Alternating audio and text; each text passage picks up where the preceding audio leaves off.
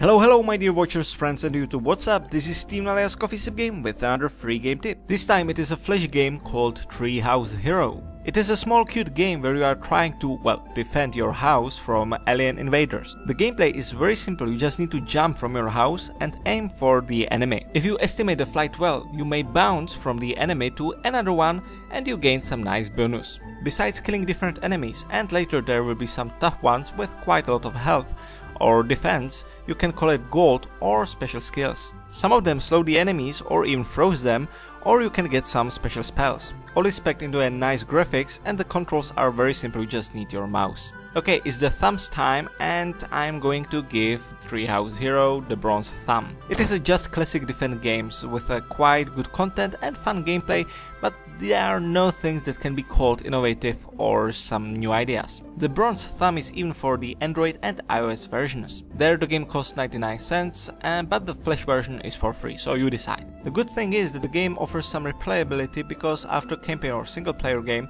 you can try survival, that means just defending as long as you can. So that's all for now, as always, thank you very much for watching, I hope you will enjoy the game, don't forget to like, comment and subscribe for everyday free game tip and more content.